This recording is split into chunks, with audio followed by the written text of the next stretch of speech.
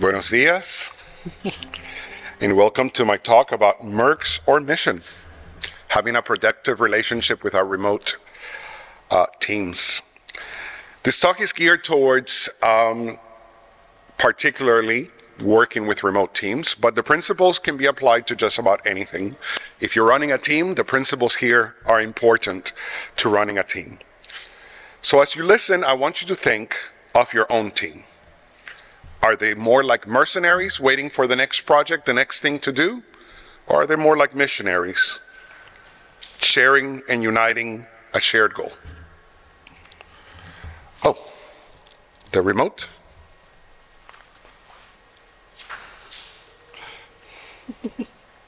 Sorry about that.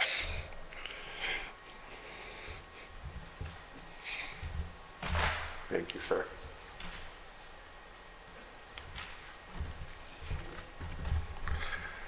All right.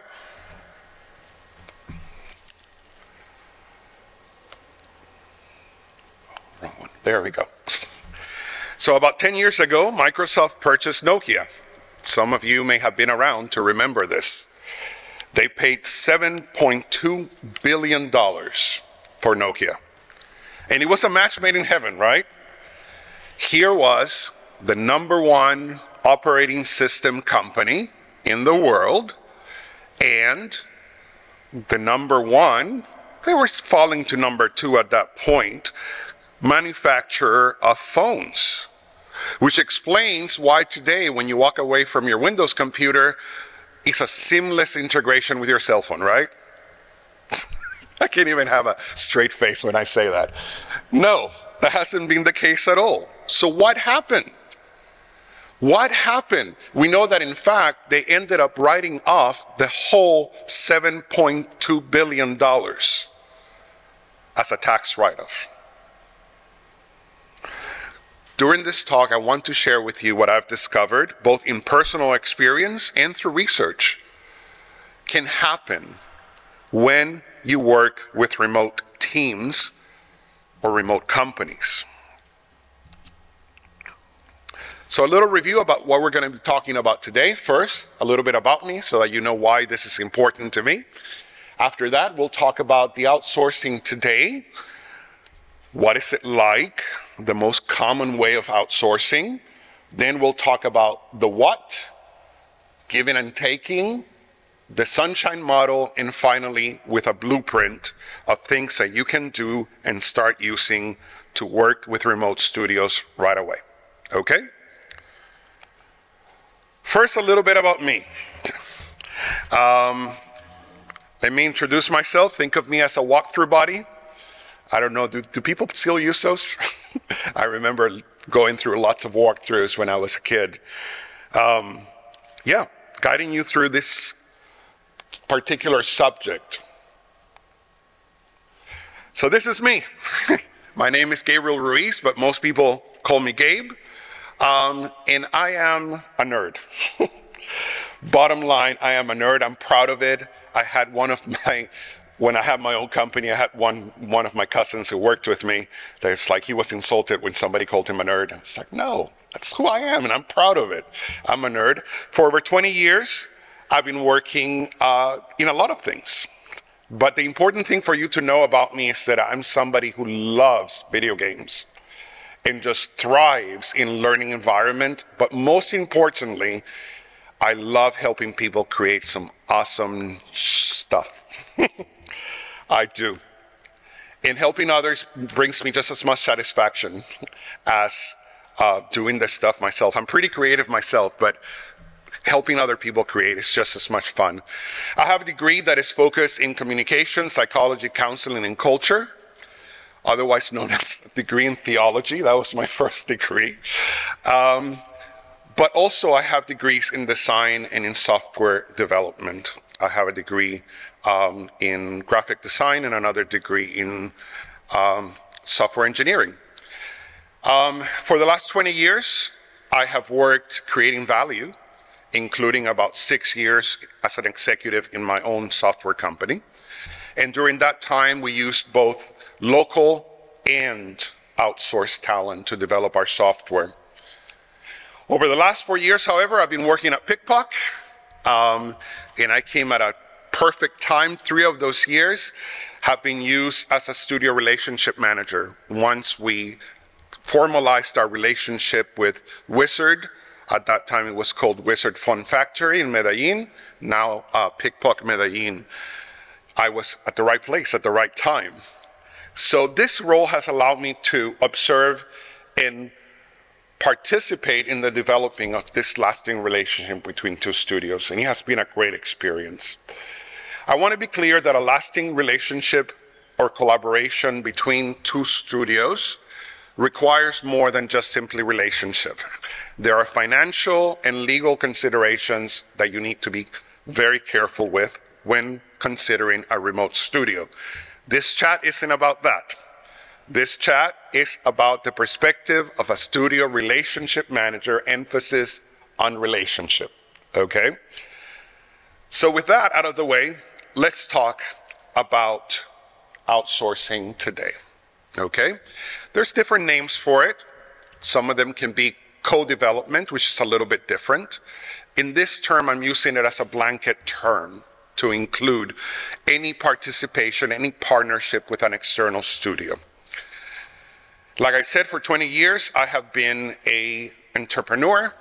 Um, so I actually have personal experience when I had my own company, um, Unident Software Company. We used both near and far shore uh, outsourcing partners. And during that time, to be honest, I fell into some patterns that were less than successful. And so today I want to, us to dive into what it looks when it goes bad. What, what does that look like before we come up with some ideas of how we can do it right. Let's talk about the mushroom kingdom, okay? Has anybody heard the expression, I'm being treated like a mushroom? If you haven't, it means that you keep somebody in the dark and you feed them manure, for lack of a better word, okay? That's what it means to treat somebody like a mushroom, similar to mushroom uh, farming. When we have uh, outsourced partners, quite often we fall into this trap of treating them this way. I certainly did it. Um, in my case, I had access to my wife's dental practice and many other dental practices around me, but I never even thought about connecting the remote studio with the people that were actually I was learning from. It was too much work. It was and the only thing I did was basically give them the stuff that my local studio didn't want to do. and whenever I was in a big, big trouble, I would then bring them in just to kind of end things. And what happens when you do this is that it puts a remote studio into a survival mode. And being treated like a mushroom makes it even worse. Scientifically, we know that we are not at our best during duress. Duress will get you out of a fire, but very rarely does it keep you from falling into a very similar fire, fire down the road. This is the way of the mercenary, the way of the hired company, the outsourced partner. So, what is the alternative? This is a quote from John Doerr, famous capitalist. What we need are is teams of missionaries and not mercenaries. Now, I want to make sure that we are clear in this. The word missionary carries a lot of historical baggage. Unfortunately, quite often it has been associated with colonialism and with subjugation. But today I want us to think a little bit different with the word missionary.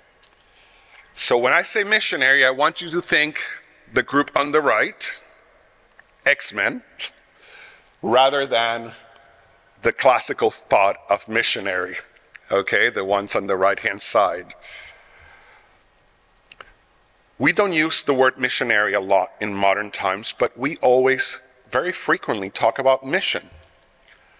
So I want you to take a moment to reflect on your organization's mission. Is it a rallying point that inspires a group like the X Men or is it just a checkbox that a mercenary group would feel more in touch with? I heard about the concept of missionaries and mercenaries for the first time in the book Empowered by Marty Cagan. If you are a producer or if you are somebody who's a leader, I highly recommend you read this book. And he talks about how we want to ensure that every member of the product organization is joined because they sincerely believe in the larger process. We need to ensure that people in the team are true believers, kind of like Stan Lee's true believers. And interesting enough, he in this book argues against outsourcing because of the mercenary nature of it. Good news to tell you today, I think we have found an alternative to it.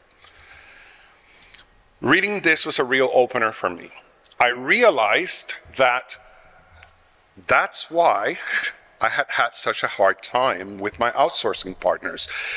It wasn't the kind of work, it was the way I was treating them. It included one terrible moment in which we outsource to a company and then they outsource to another company. And if you can imagine, if it's bad to keep your user away from your person that is working on the work, can you imagine two ways down the road? It was horrible. But I was treating them like that. So around the same time that I was reflecting on this, I was reading this book, is when we started working with Medellin. Now we had several outsourcing partners at the time. We had some in the Ukraine, we had some in the Philippines, some in Peru. In the relationship with Medellin started very similar to those. But it was really interesting, even before we outright acquired PikPok Medellin, I began to notice a difference. And to be clear, the great amount of that difference was the quality of their work and the amazing leadership that they had. But there was something, a little something extra in there. The final piece of the puzzle fell in when I read this book by um, Roger L. Martin. Um, another great book, by the way, for you if you're a leader to read. Um, a different, a new way of thinking. And in this book, he talked about the high profile partnerships like that one that we talked at the beginning between Microsoft and uh, Nokia or Yahoo and Tumblr. And at the core issue of these problems, he identified uh, one single thing, and that was that they focused on what they could get out of the company rather than what they needed to give. Martin's point about talking uh, about value applies not only to mergers and acquisition. If you have been in a long lasting relationship, you know that this is true. And if you are a good product manager, a good product owner, you know that you have to give value to get value. It's just a principle that applies to everything. And at PikPok, this principle, I noticed how it became a reality. Even before we bought it, there was a feeling of what could we contribute to this remote studio, not just simply what could we extract from them. So if there's one thing that I want you to remember today, it's this simple statement. You have to give value to get value. You have to give value to get value. So let's talk a little bit about what does that mean? What do I have to give? Or what do I have to give? Let's talk about this. In the book that uh, Roger L. Martin um, wrote, he identifies four things that you, your studio has to give. The first one is smart capital. And this is on mergers and acquisitions. So smart capital, management oversight, but I want to just to pay close attention to the last two, transferring of valuable skills and sharing of valuable capabilities. This is something that you don't have to merge, you don't have to purchase, that you can do with your remote studio with the outsourcing relationship to make it better. So we're going to concentrate on those two. Let's talk about what you have to give. Number one, your biggest asset is human capital both your team members and your customers.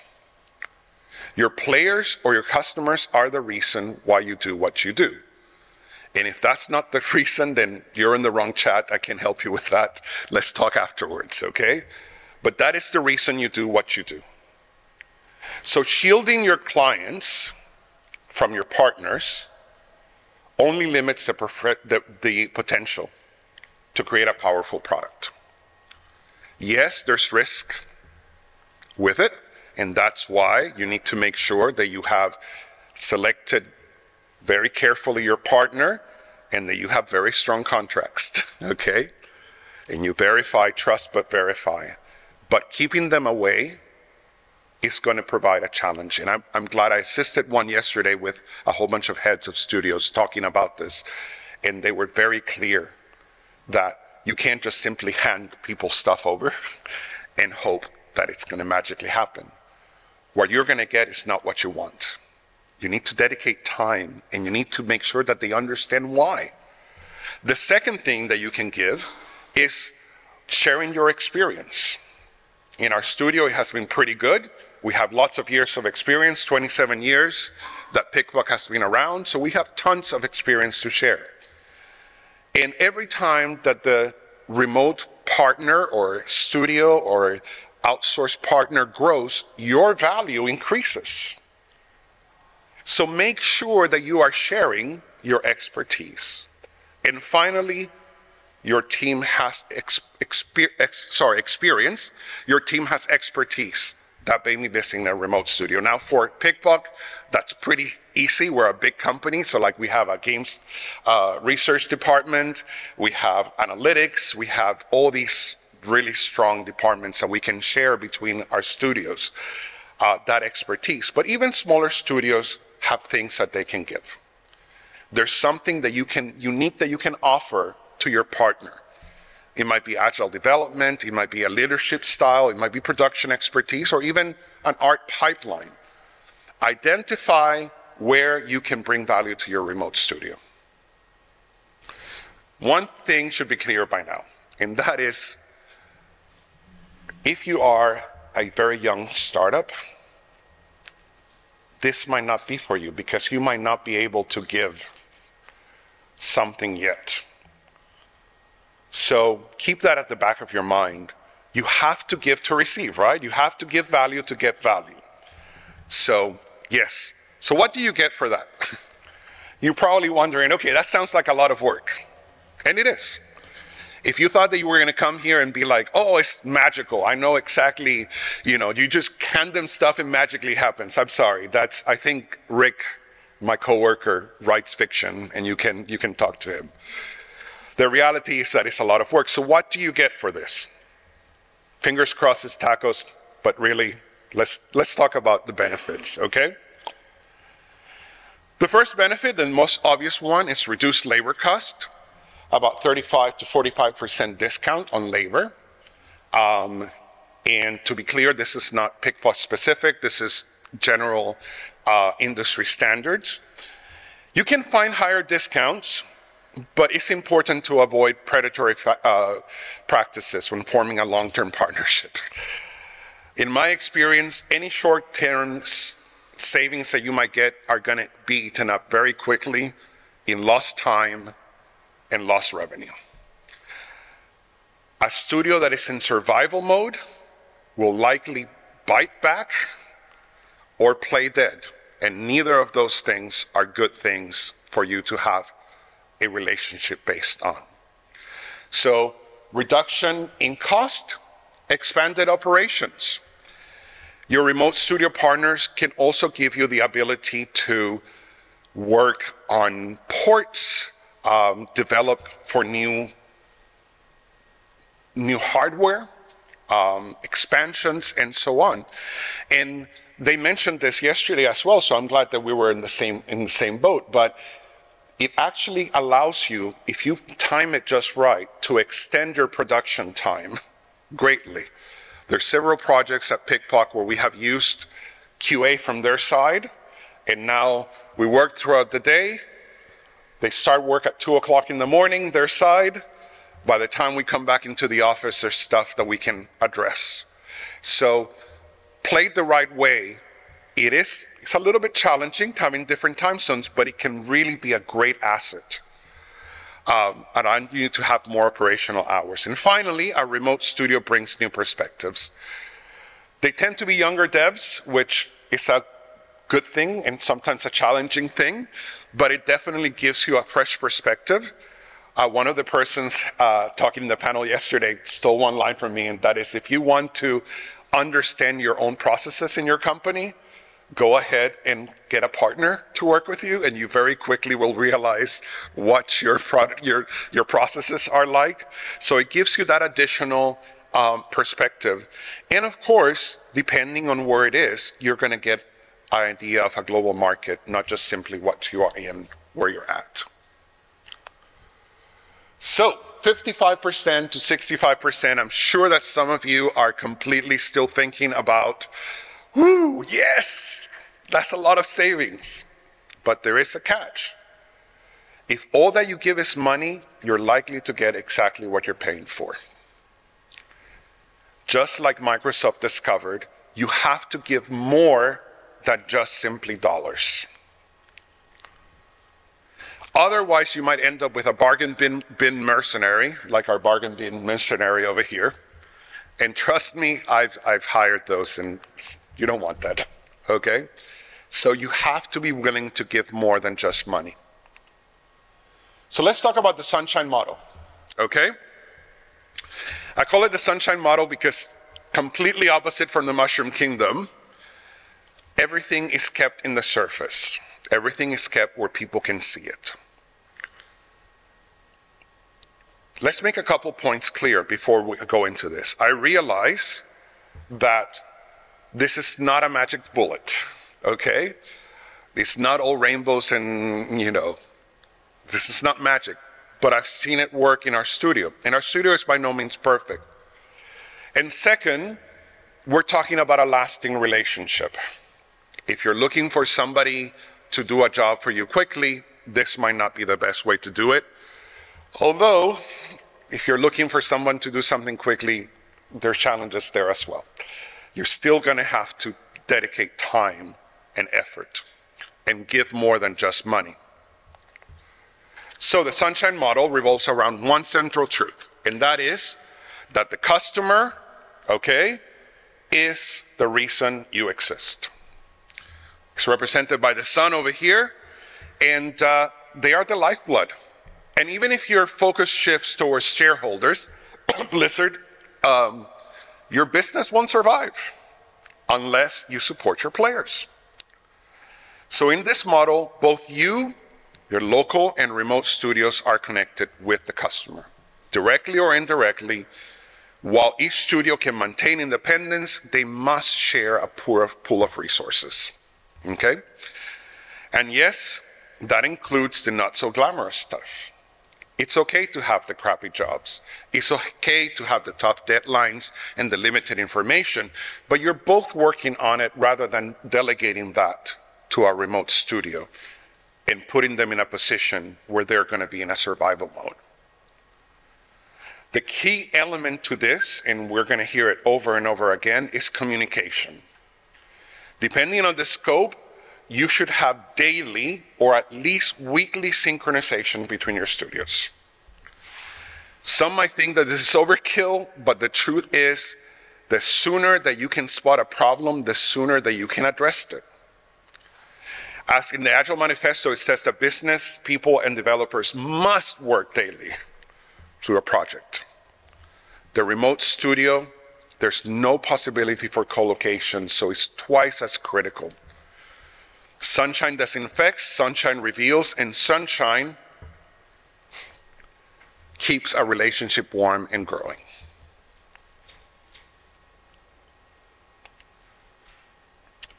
So the elements of this model, let's talk about it. Like I said, customer centric. When I had my own company, one of my lead tech person, I remember him screaming at one of our software engineers, just effing do it. and I was like, hey, let's talk to HR. uh, and it was a phrase that, to be honest, with the same employee, like a couple months later, I found myself saying it in my head. I didn't say it out loud, but I found it saying in my head. And as tempting as it is to run things just because I say so, that is not the way to have an effective, lasting relationship. You have to be able to understand why you're doing what you're doing. In yesterday's chat with the studio lead, someone said, like, if you just give them a tree to make, they're going to give you a tree. You have to make sure that they buy in into what your version of that tree is. Why is it important? Otherwise, you're not going to get something that matches. I've heard a lot of corporate jargon. If there's one that I really dislike is let's keep the noise to signal ratio low. And I understand that there's room for it, but my advice when working with a remote studio is don't. There's so many things that you think, oh, that is just common knowledge. Like I know it, right? And you're thinking, I'm just going to give them extra information. It's not necessary. Don't. They're not there with you. What may be totally pointless to you might be key for them to develop what they need to develop. I'm a TikTok person, much to my children's dismay. um, and there's this, this one person there that acts different ways, acts like, uh, in, in, like she'll have three panels, and one of them will be like real life, claymation, Pixar. And in the claymation and Pixar one, she kind of has to exaggerate her movements to get the point across. And that is true for a remote studio. You have to make sure that things are clear and overdo it. It might look like overacting, but it's key in order for you to continue. Like we said before, you need to share resources. And it goes both ways there's a temptation to be, especially if you're a, a larger studio, to be like, oh, we know everything. And so we're just going to tell them what to do. You'd be surprised at the information that you can get if you truly share the resources between you and them. And finally, you must have a growth mindset. When I first started working at PikPok, joining both studios, my manager told me, you make sure and let them know that we know that they're going to make mistakes and that our company core value is to learn from our mistakes. So we want to know. We don't want you to hide them. And because you are such a distance, when people hide something from you, it's going to be very hard to find. However, it will come up. and it will probably come up when your product is out. So you want to make sure that those problems come in early and frequently, and that they know that you have a growth mindset to help you with that. So let's visit this again. We need teams that are missionaries and not teams of mercenaries. What I've discovered is that missionaries and mercenaries are a matter of how you treat your team. An outsourcing partner can be a missionary, doesn't have to be a mercenary. They need to be invested in what you're doing.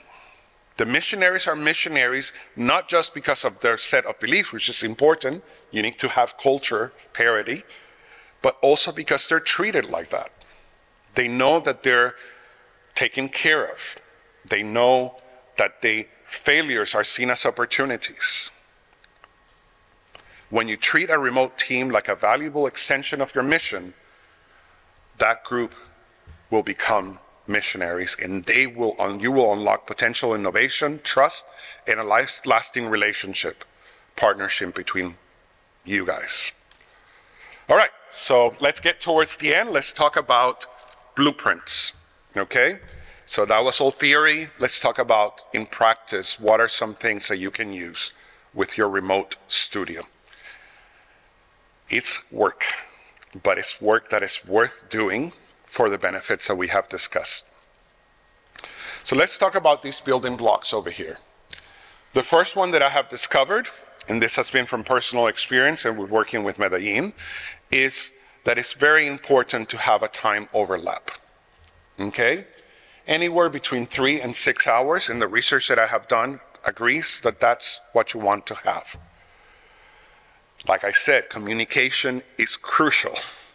So you need to have a time for people to communicate directly. Email is fine, messages are fine, but ultimately the best communication is going to happen face to face, at least through teleconferencing. That's all that you have.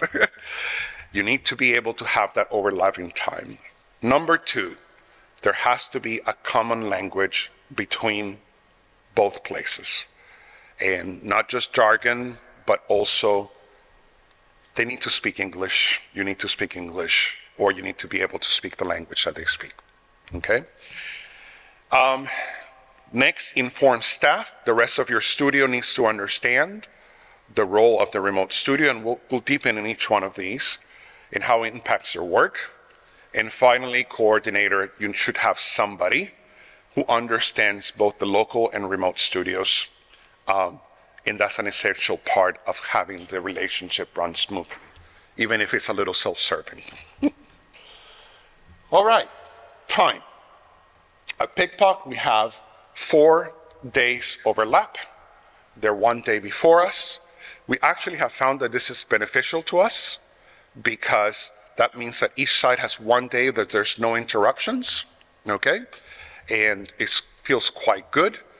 Um, so you want to have at least four days in common with the place that you're working on, and then three to six hours each day. Um, you can, on occasion, work outside of working hours, either you or them, but it's not sustainable. One of you is going to get tired. With my previous company, the other team was in a place completely opposite of mine, and I had to get up at four o'clock in the morning to communicate with them. At four o'clock in the morning, I can even find my mouth to brush my teeth, much less have a decent conversation with another human being in very heavily accented English. So make sure that this is not a common occurrence, okay? I myself choose to get up at 5.30 in the morning and work with them at 6 o'clock in the morning, but you can't expect everybody to do that. Um, and they had changed their hours to go from 9 to 6 p.m. so that we have more time overlap. But once again, this is not an extreme. People are not working in the middle of the night uh, so that they can work with us. Um, we have used several kinds of handover documents. Um, here are some of the good ones. QA, for example, uses an Excel spreadsheet for handovers, has worked really, really good. Production teams usually use Jira or some kind of that type of uh, system. And art teams usually collaborate in Miro or Figma. Um, and that allows for asynchronous collaboration when they are not there to meet and talk directly. So that's the time overlap, talking about common language. Communication, heart of working it out. Communication, communication, communication.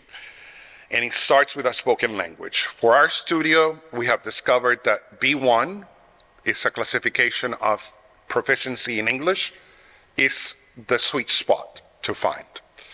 Of course, there are challenges with culture and accents and beat bedrooms. I have to tell them if it sounds like an E sound when you're talking to a Kiwi, they mean eh, bedroom, okay? Um, but they need to start with a common, common ability to talk to each other. Um, in addition to that, we actually offer uh, language training on both sides on their side in English and our side in Spanish. Um, and we offer the opportunity for people to come visit across, and that helps you increase your language, improve your language uh, skills. Um, yep, it's not just the common language, it's identity. Please, if your studio is about making the best games ever, and your remote studio is about making the best art ever, you're going to have some problems. So you need to make sure that your remote partner has a similar set of beliefs to yours. The same thing with culture.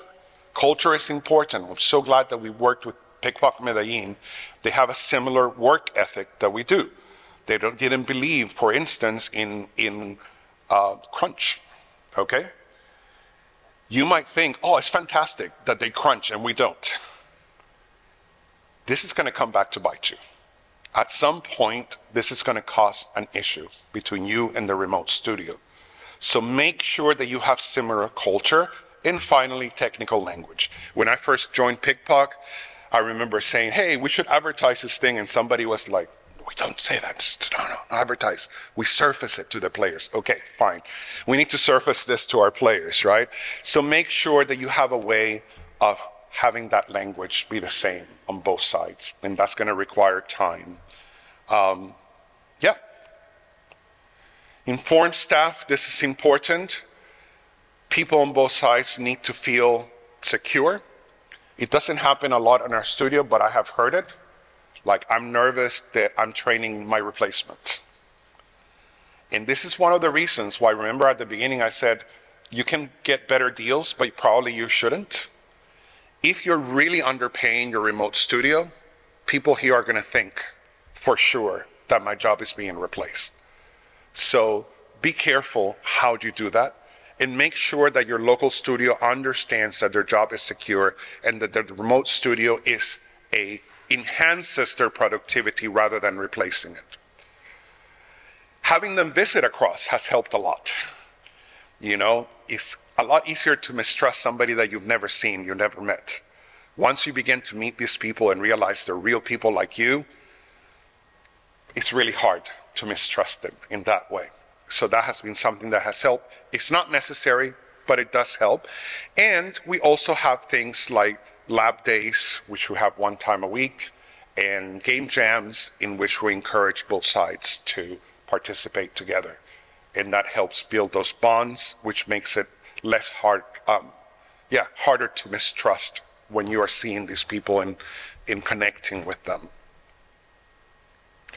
And lastly, having a relationship coordinator is key to maintaining a good relationship. Um, in the past, outsourcing managers tended to do this for like things like localization and so on. But if you're looking for a sustained relationship, it's important to have somebody, and these are some good attributes for that person to have. You're looking for somebody who's fluent in both languages. There's some things that are really hard to explain in somebody else's language. Um, and so being able to speak both languages, this person is able to translate words and culture to both sides. So you're looking for somebody who is fluent in, you know, their their culture, the language, but also the culture. You want a people person?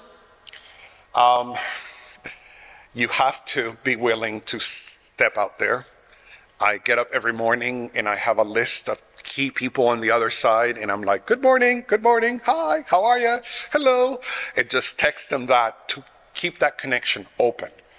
I cannot sit and wait for people to come and contact me. When I do that, nothing happens. When I do this, quite often then people during the day will contact me and say, hey, I'm having problems with this. I am out of sight, out of mind. so make sure it's a people person. And finally, somebody who's product minded, ideally. You want something who understands business, who understands, can think strategically, um, and can help with this process of creating value um, rather than just simply be friends. You are creating a product. There is a very, very key to what you're doing. You want to have somebody there that understands that. So, yeah, Deadpool, you're right. That was a little bit self serving there. So, to review, mercenaries are made by the way you treat people, keeping them at arm's length. To build lasting relationships, you have to give value to get value. It needs to be beyond just money. okay? Sharing access to your team, your customers, your expertise, and experience will reduce the cost and expand your production. It's going to take a little bit longer, but it's going to be worth it. Players are the reason why you create games. Make sure that they are included and your partners have access to the information that you're getting from them. And communication is key. Over communicate, please, please. You don't know how much of my work has been like, they want to help you, talk to them. And on this side, they want your help.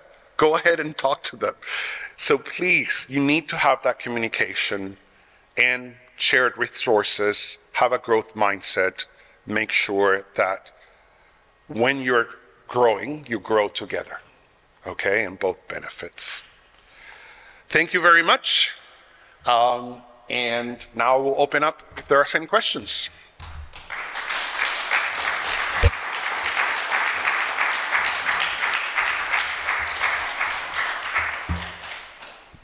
Any questions?